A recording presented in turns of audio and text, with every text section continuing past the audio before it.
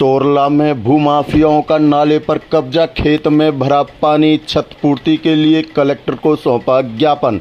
बेमित्रा विधानसभा क्षेत्र के गाँव सोरला में खेतों में पानी भरने से फ़सल को हुआ नुकसान की क्षतिपूर्ति के लिए क्षेत्र के किसानों ने बेमित्रा कलेक्टर को सौंपा ज्ञापन।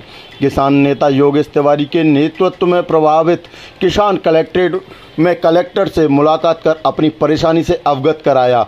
इस संबंध में किसान नेता योगेश तिवारी ने बताया कि गाँव के नाले पर भूमाफियाओं ने अवैध कब्जा कर किसानों के खेतों में पानी भर दिया है, जिससे किसानों को खेत में आठ से दस फुट पानी भर जाने से नाले में के माध्यम से जो पानी निकलता था, अब उसकी निकासी नहीं हो पा रही है। भूमाफियाओं ने नाले पर रोड बनाकर कब्जे करने के बाद से पानी की निकासी नहीं हो पा रही है।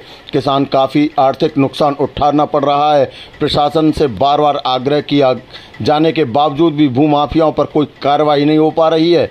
इस संबंध में तहसीलदार, एसडीएम कलेक्टर से लेकर मुख्यमंत्री भूपेंद्र बघेल से शिकायत कर कार्रवाई की मांग की गई थी।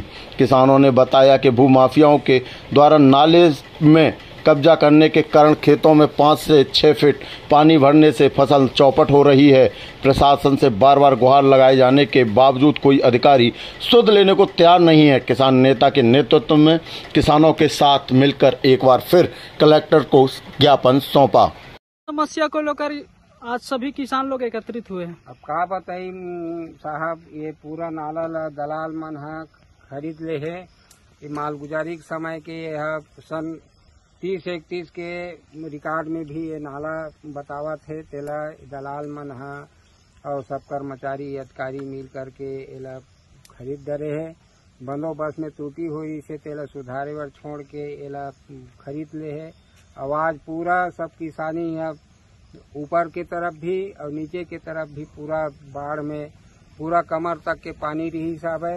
कोई भी पूछ सकत है।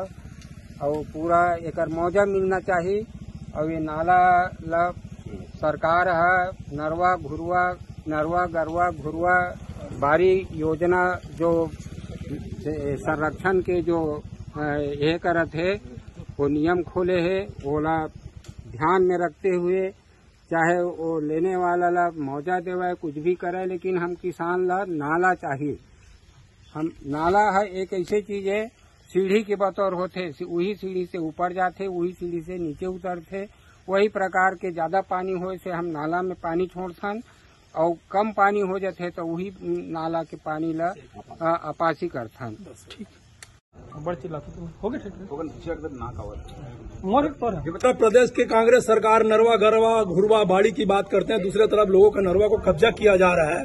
आए बंदोबस्त में त्रुटि को ज़बरदस्ती सुधार के जो मालगुजारी जो निस्तारी के लिए नाला बनाया गया था सोरला गाँव में जहाँ किसानों का पानी वेस्टेज पानी निकाला जाता था ऐसे नालों को भूमाफिया लोग कब्जा करके किसी ज़मीन मालिक को बेच दिए हैं। आज नाला को बंद कर दिया गया है। किसान का फ़सल आज पूरा बर्बाद हो गया है। इसके पहले जो रोपा लगाए थे पूरा दस दस फीट आठ आठ फीट पानी होने के कारण से पूरा रोपा खत, खत्म हो गया। फिर से दोबारा इन लोगों ने रोपा लगाया लेकिन फ़सल शायद होगा नहीं ऐसा इन लोग को उम्मीद है।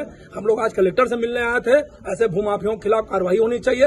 आज एक साल से किसान भटक रहे हैं कभी तहसील ऑफ़िस कभी एसडीएम ऑफ़िस कभी मुख्यमंत्री को फरियाद कर रहे हैं। लेकिन ये लोग बोलते हैं नक्शा नहीं होने के कारण वो सब घुमावदार बात करने लगे हैं। इस कारण से हम लोग आज कलेक्टर को हम लोगों ने ज्ञापन दिया है कि ऐसे भूमाफियाओं के खिलाफ कार्रवाई करें।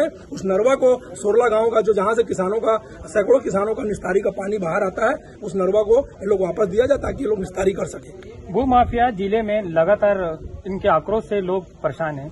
क्या लगता है आपको किसका संरक्षण मिल रहा है? कहीं ना कहीं ये सब सरकारों का संरक्षण है जो जुड़े हुए लोग हैं। कहीं ना कहीं ये लोग ऐसी पार्टी से जुड़े हैं इसलिए उनको संरक्षण प्राप्त है।